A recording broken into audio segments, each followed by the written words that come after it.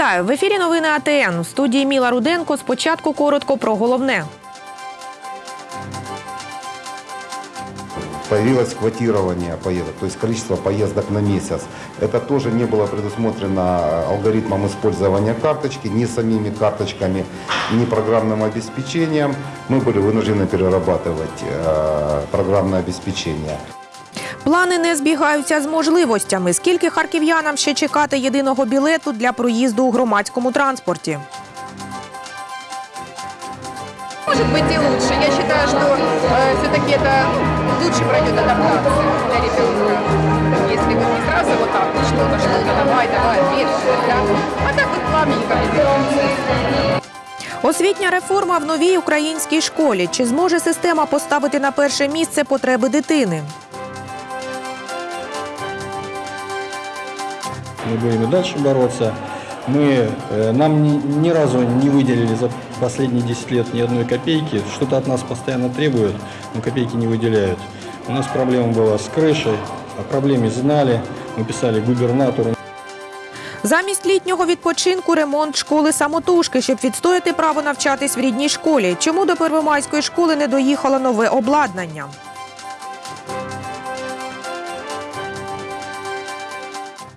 Тепер детальніше. Повноцінний запуск є тікет знову на паузі. Впровадження єдиного електронного квитка в усіх видах громадського транспорту відкладається. Про це повідомили у Харківській мерії. Наразі зазначають посадовці, з'явилися проблеми, які не дозволяють запустити систему є-тікет у підземці. Повний запуск системи «Е-Тікет», якою неодноразово хизувалися у Харківській мерії, мовляв, Харків стане першим в Україні містом, де впровадять єдиний електронний квиток для усіх видів транспорту, знову відкладається. І це вже в четверте за останній рік. Наразі розрахуватися «Е-Тікетом можна у трамваях та тролейбусах, приклавши картку до валідатора. А ось у підземці вони встановлені не в усіх вестибюлях. Обладнання поки є лише на 10 станціях. Переважно це Холодногірсько-Заводська лінія метрополітену, зазначили у департаменті інфраструктури. Причин для чергового відкладення запуску системи єдиного квитка мінімум ще на місяць, підкреслює директор департаменту Сергій Дольфан. Одразу декілька. Це і зміни у порядку видачі пільгових карток, посилення контролю фінансових операцій і переобладнання купюроприймачів. Появилось квотирование поездок, то есть количество поездок на месяц. Это тоже не было предусмотрено алгоритмом использования карточки, ни самими карточками, ни программным обеспечением. Мы были вынуждены перерабатывать э, программное обеспечение. И э, самое главное, в метрополитене э, были введены дополнительные требования, которые говорят о необходимости двойного контроля за транзакциями. Учитывая, что мы имеем дело с, фа- с фактически с бюджетными средствами, потому что в случае, если наши предприятия будут нести убыток, э, бюджет будет вынужден э, им помогать. Повністю завершити всі роботи з переоснащення програмного забезпечення і запустити систему єдиного електронного квитка тепер у мерії планують до 1 листопада. При цьому з 20 вересня почнеться видача пільгових проїзних карток для школярів, обіцяють у міськраді. З 1 жовтня їх видаватимуть студентам, а з 1 листопада всім іншим пасажирам пільгових категорій. Але експерти-економісти з огляду на неодноразове відкладення запуску системи «Е-Тікет» у підземці такі плани зараз оцінюють скептично. За словами аналітика Харківського антикорупційного центру Євгена Лісічкіна, проблема із тривалим впровадженням єдиного електронного квитка в усіх видах громадського транспорту пов'язана із тим, що посадовці, представники компанії-інвестора та КП «Харківський метрополітен» побудували досить амбіційні плани, розрекламувавши нововведення, які у підсумку не збігаються із можливостями. Кожен раз Харківська міська рада бере амбіційні плани. От зараз там 1 листопада, через два місяці. Не хотілося б також разом гадати з Харківською міською радою.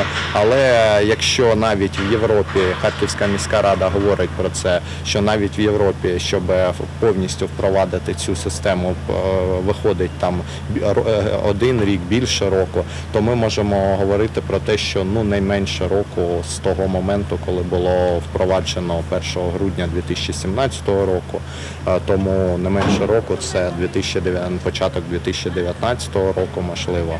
Тим часом у мерії запевняють, що система «Е-Тікет» повноцінно запрацює вже до кінця року, тому харків'яни зможуть оплачувати однією карткою поїздки і в метрополітені, і в трамваї, і в тролейбусі найближчим часом. Ліза Василенко, Євген Шинкаренко, Агентство телевидения новості. У Харкові віддзвеніли перші дзвоники. В усіх школах міста пройшли урочистості. За порядком на заходах слідкували більше півтисячі поліцейських. Найбільша увага була прикута до першокласників. Їх нарахували близько 27 тисяч, що на 600 дітей більше ніж торік. Перший А клас.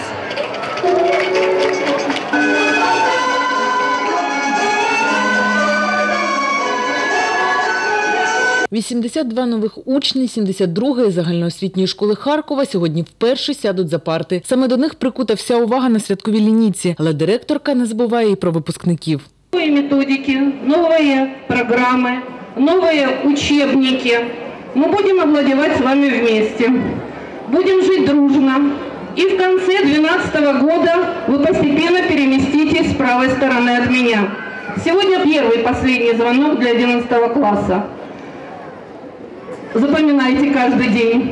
Цьогоріч стартувала реформа освіти, тож сьогоднішні першачки вже вчитимуться 12 років. Головна відмінність нової школи – орієнтація на потреби дитини, не пристосування учнів до єдиної системи, як це було раніше. Школа стане інклюзивною. Вона буде враховувати потреби кожної окремої дитини, а батькам пропонують стати партнерами в навчанні, а не сторонніми глядачами. Мы больше готовились морально, родители морально. Ребенок очень хотел в школу, очень-очень-очень. Сейчас там стояла планка. Может быть и лучше. Я считаю, что э, все-таки это лучше пройдет адаптация для ребенка. Если вот не сразу вот так что-то, что-то, давай, давай, ответственность, да. А так вот плавненько идет. Поживем, увидим, посмотрим. В принципе, нужно учить, как говорится, самостоятельность, еще же они всегда будут возле мамы. Хорошо отношусь. В принципе, мир не стоит на месте, поэтому пусть продвигается вперед, и что-то новое появляется, в стране много нового. В Міністерстві освіти впевнені, що зміни, які запроваджують зараз у початковій, а в майбутньому в базовій та старших школах, допоможуть дітям без проблеми обрати вищі та скласти іспити, але обіцяють робити все поступово.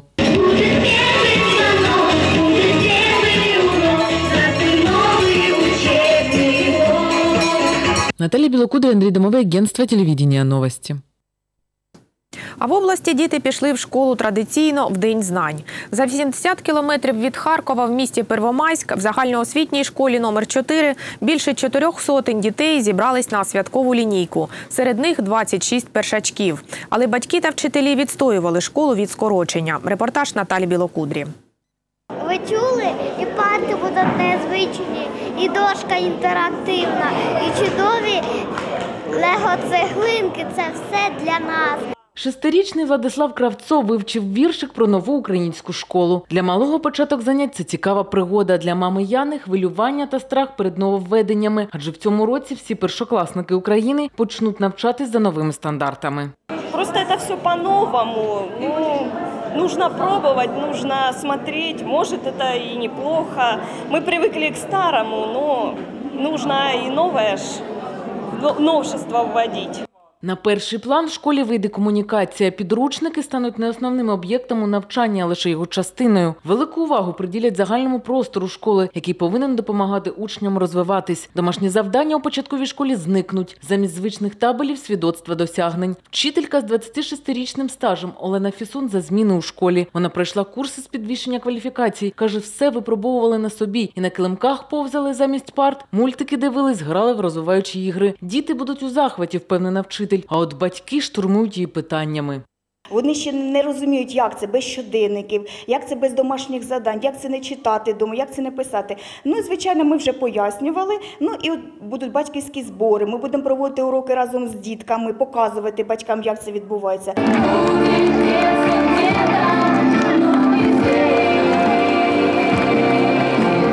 Свято першого дзвоника для Владислава Кравцова та ще чотирьох сотень учнів, які навчаються в школі номер 4 міста Первомайськ, могло і не бути. Адже міська влада в кінці минулого учбового року вирішила цю школу закрити, будівлю законсервувати, а дітей та вчителів перевести в сусідню школу. Мовляв, щоб заощадити, адже кошти на освіту виділяються за кількістю учнів, а їхня чисельність за останні 15-20 років скоротилася. Однак батьки, діти та вчителі відвоювали право вчитися в рідній школі. І на сесії міськради в червні це питання відтермінували Батьки-активісти зібрали самостійно кошти на ремонт їдальні та даху. І два літніх місяці робили ремонт. Тепер показують на світлинах, що було і що тепер мають діти.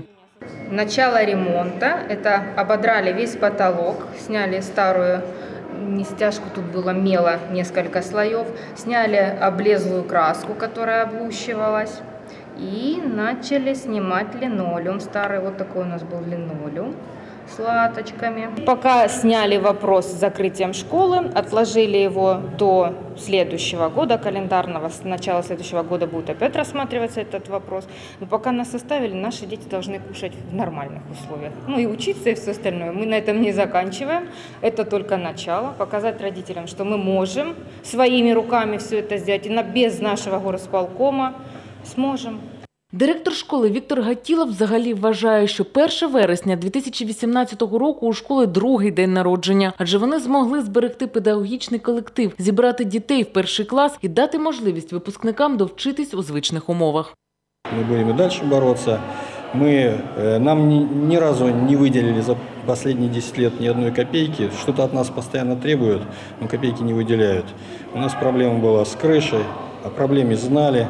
Мы писали губернатору нашей Харьковской области, ездили к ней на прием, но, увы, до нее не дошли. Колектив Первомайської загальноосвітньої школи номер 4 готовий до змін в освіті. Батьки намагаються підтримувати вчителів у всьому, але все ж таки чекають обіцяних державою матеріально-технічних комплексів для учнів першого класу. Це і парти-трансформери, і інтерактивна дошка, мікроскопи та інше. Та поки що до Первомайська нове обладнання не доїхало. Наталія Білокудря, Андрій Демовий, агентство телевідення новості. В ефірі новини АТН. Дивіться далі у регіональному випуску. Там предсмертная записка была, тут позвонила сразу же мама на телефон, они взяли, спустились вниз, ну и мама сразу как бы услышала, увидела, и сидела тут до еще часа три как бы на ступеньках, не смотрела ничего. 14-річна дівчинка стрибнула з вікна багатоповерхівки. Слідчі перевіряють, чи не входила вона до так званих груп смерті для підлітків. Машины второй не было вообще, то есть одна только машина была. Это какой-то «Жигуленок» пятидверный. Полностью разбитый в хлам. Водительское сиденье, водительская часть вообще там мясо. Поэтому, но крови, ничего такого не было. Салтівське шосе як місто підвищеної концентрації дорожньо-транспортних пригод. У неділю тут сталася чергова аварія, в якій постраждав водій однієї з автівок, що зіткнулися.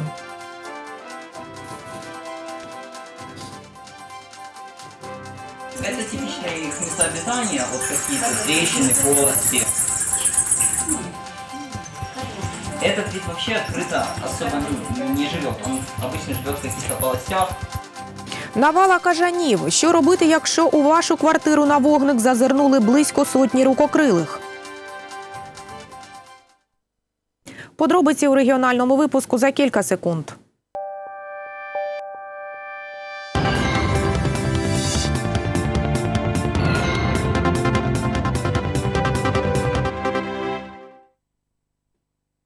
Трагедія на Салтівці. Із вікна багатоповерхівки випала дівчинка-підліток. Від отриманих травм вона померла на місці. Які версії розглядають правоохоронці?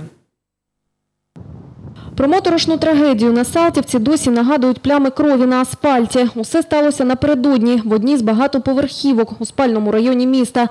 Бездихане тіло дівчинки-підлітка побачили перехожі, одразу повідомили в поліцію. Вже на місці правоохоронці встановили. Дитина впала з висоти і миттєво померла від численних ушкоджень. Это просто домой пришли э, и как бы услышали, что играет э, телефон. А Тут полицейские не забыли, вышли, спустились с полицейским, сказали, что играет сумка, ну, в сумке телефон. Они как бы пришли, достали, там предсмертная записка была, тут позвонила сразу же мама на телефон, они взяли, спустились вниз, ну и мама сразу как бы услышала, увидела и сидела тут до еще часа три как бы на ступеньках, не смотрела ничего. Правоохоронці кажуть, дівчинка мешкала не у багатоповерхівці, де сталася трагедія, а неподалік в одному з сусідніх будинків. Родина померлої дитини благополучна. Проблем у школі, за попередньою інформацією, дев'ятикласниця не мала. За декілька годин до смерті, підкреслюють поліцейські, повідомила батьків, що пішла гуляти, а згодом подзвонила і сказала, що затримається і прийде додому пізніше. Була залишена записка не одна, а дві. Вона просила пробачення у мами та у своїх учителів. Мешкала в благополучній родині. В неї є двоє маленьких братів. Е, В школі та в сім'ї конфліктів не відбувалось. Слідчим за даним фактом відкрито кримінальне провадження за частиною 3 статті 120 Кримінального кодексу України доведення до самогубства. Наразі правоохоронці встановлюють, з ким спілкувалася дівчинка у день смерті, шукають свідків. Крім того, поліцейські перевіряють соціальні мережі, в яких була зареєстрована 14-річна школярка. Зокрема, вивчають історію повідомлень та наявність так званих груп смерті для підлітків. Ліза Василенко, Євген Шинкаренко, Агентство телевідення новості. На Салтівському шосе внаслідок аварії постраждав водій ВАЗу. Втім, ця ДТП не дуже здивувала місцевих мешканців. Вони вже звикли до того, що тут часто б'ються автівки та навіть гинуть люди. Більше подробиць знає наша кореспондентка Світлана Яченіна. Уламки битого скла та плями від мастила на асфальті – це все, що сьогодні нагадує про аварію, яка сталася тут вихідними. Андрій якраз і йшов поруч, коли побачив натовп та розбиту вщент автівку. Машина полностью разбита. Водителя, водителя увезли сразу. Машины второй не было вообще, то есть одна только машина была. Это какой-то «Жигуленок» пятидверный. Полностью разбитый в хлам. Водительское сиденье, водительская часть вообще там мясо. Поэтому, но крови, ничего такого не было. Дорогу не поділили Volkswagen та ВАЗ, який за попередніми даними рухався у попутному напрямку. Унаслідок пригоди 37-річний водій ВАЗу з переломами був доправлений до Харківської міської клінічної лікарні швидкої та невідкладної медичної допомоги, повідомили правоохоронці. Ця ділянка дороги дуже неспокійна, кажуть місцеві мешканці. Люди ще не встигли оговтатися після жахливої ДТП за участі Тиграна Інгібаряна, яка сталася за 200 метрів звідси. Після цього було приблизно ще 5 аварій. Їх кількість побільшала ще на одну вихідними. потому что такой район, и, и этот перекресток, и следующий, там вот э, молодого человека сбили вот буквально как бы. Бывает, что, наверное, может и нетрезвый кто-то. Наразі слідчі встановлюють всі обставини ДТП. Інформація внесена до журналу єдиного обліку правопорушень. Вирішується питання щодо кваліфікації подій за Кримінальним кодексом України. Правоохоронці в свою чергу просять водіїв бути особливо пильними. За останні два тижні е, на території міста Харкова трапилось 276 е, дорожньо-транспортних пригод, з яких 37 з потерпілими. Стосовно постанов, це 4813 за порушення правил дорожнього руху. Просимо водіїв неухильно дотриматись правил дорожнього руху і також нагадати їм, що розпочався новий навчальний рік і щоб водії були більш е, уважними на дорозі. Світлана Яченіна, Олександр Воробйов, агентство телевідення новості. До квартири літньої жінки завітали в гості більше півсотні кажанів. Вони розлетілися по помешканню та налякали пенсіонерку. Ще зграя летючих мишей вирішила знайти прихистку в одному з медичних закладів нашого міста. Як убезпечити себе від таких ситуацій та не нашкодити тваринкам? Далі в сюжеті Аліни Тюхай. Збивати е, не можна, треба почекати, коли він сяде, і обережно зняти е, в рукавичці. Цих рудих вечірниць Віталію довелося потурбувати, бо вони знайшли собі прихисток в одному з медичних закладів міста, коли тут розпочали ремонт та заміну вікон. Скоріш за все, вони проникли у помешкання через шпарини, розповідає співробітник центру реабілітації рукокрилих Віталій Гуков. Хлопцеві за півдня вдалося відловити більше 70 особин, але у приміщенні ще купа щілин та закутків, де крилаті миші можуть причаїтися. Это типичные их места обитания, вот какие-то трещины, полости. Этот вид вообще открыто особо ну, не живет. Он обычно живет в каких-то полостях, а, забивает какие-то небольшие отверстия. Врятованих, каже хлопець, спочатку відпоять водою, бо поки вони літали, отримали легке зневоднення. Це дорослі особини, їх вага має бути не меншою за 20 грамів. У іншому разі їх доведеться ще й відгодовувати, а вже потім їх помітять та відпустять на волю. Ослаблені та травмовані залишаться в центру порятунку рукокрилих на більш тривалу реабілітацію. Це вид руда вечірниця, це вид мігрант. Зазвичай вони живуть літку в лісах, де й розмножуються. А на зиму зараз якраз період, коли вони перелітають на південь або останнім часом заселяють міста великі. Напередодні ще одна група кажанів вирішила заселити квартиру у багатоповерхівці. Господарка в паніці зателефонувала до служби порятунку тварин і повідомила, що у приміщенні більше 60 кажанів. За словами волонтера служби Олександра Павленко, пенсіонерка розповіла, що спочатку побачила двох кажанів на балконі, але не знала, як діяти в таких ситуаціях. Тому замість того, щоб закрити вікно, відчинила його повністю, сподіваючись, що непрохані гості вилетять. Однак спеціалісти кажуть, що відкриті вікна кажані сприймають навпаки, як запрошення. Как всегда, это какой-то такой маленький шок, когда ты видишь э, над головой у тебя летают 20 штук, и остальные, в принципе, по стенам, по шкафам, по всяким ящичкам, они просто везде лазят, кишат. Я зашел в коридор, мы их начали вылавливать, э, я был с пареньком, со своим другом. Э, Вылавливали, потом зашли на кухню, там, в принципе, такое же количество, штук 30, как и в коридоре. Меншу частину кажанів волонтери випхали у вікно. Решту відшукували та виловлювали працівники центру реабілітації кажанів, які відпоїли мишок та випустили на волю. Аби уникнути таких ситуацій, фахівці радять встановлювати на вікна москітні сітки. Та якщо тваринка вже залетіла, негайно зачинити вікна, не панікувати та викликати службу порятунку. Аліна Тюхай, Юлія Бондарева, агентство телевідіння новості. Не дивлячись на календар, літо в Україні триває і триватиме завтра, повідомляють синоптики. Погода залишається сухою і теплою. Локальні дощі можливі лише в західних областях країни. Посуха у Харкові побила 170-річний рекорд. У місті в серпні взагалі не було опадів, повідомили синоптики та додали, що прогноз по опадам поки залишається несприятливим. Найближчим часом дощів не передбачається. Так, у вівторок, 4 вересня, буде мінлива хмарність без опадів. Вітер східний 7-12 метрів на секунду. Температура повітря вночі 13-18 градусів. Вдень стовпчик термометра покаже від 28 до 33 градусів із позначкою плюс. У середу 5 вересня також без опадів. Вночі очікується 13-18 градусів тепла, вдень від 26 до 31.